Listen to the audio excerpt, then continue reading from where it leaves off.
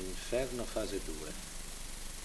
Prima del rilascio da Goliotto ci avevano fatto firmare una carta dove dicevamo che non avremmo mai parlato con nessuno di Goliotto.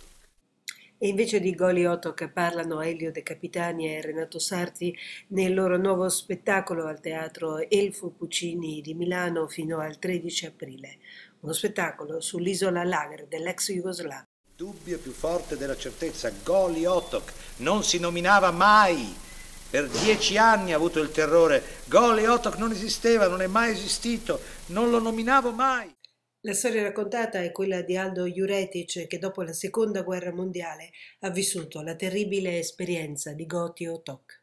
Questa è la particolarità di Goliotto. Tu vieni costretto da questa macchina infernale, appena stai lì, dopo un po', a diventare il torturatore di quelli che arrivano dopo, perché era l'autogestione del terrore la perversione di questo lager titino. E poi anche la grande contraddizione di un uomo come Tito, che ha fatto i non allineati, la rottura con Stalin, e che era stalinista con gli stalinisti, ha fatto il peggior gulag. Quindi una, una ferita che ha lacerato enormemente, ma che bisogna raccontare. Questi testimoni vivono un, uno scontro, direi quasi titanico, interiore, cioè da una parte coscienza politica, per educazione politica, per preparazione politica, per, per senso civile, sanno che devono raccontare però nel momento in cui incominciano a, rinverdire quei tragici, quegli orribili ricordi, sanno che tornano agli incubi inevitabilmente. E quindi c'è questo scontro terribile all'interno di, di, di Aldo, credo anche da parte di Elio, fuori questo, della, di questa doppia faccia, cioè da una parte il dover raccontare e allo stesso tempo sapere che questo raccontare significa dolore immenso. Cioè. C'è un altro aspetto che, che è lacerante per Aldo è vedere che succede ancora.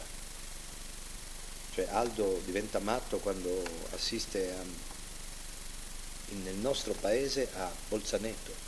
È una frase che dice la sua figlia sua secondo me fondamentale, cioè lui dice questa mia sofferenza non è servita a niente se non se ne parla e questo mi fa ancora più male, questo ancora mi fa ancora più male è riferito a tutto quello che ha passato. Perché dice di nuovo. E com'è possibile? Cioè, l'uomo torna a essere bestia così e di nuovo non succede una sollevazione, anzi si fanno i distinguo, si sminuisce, si nega, si dà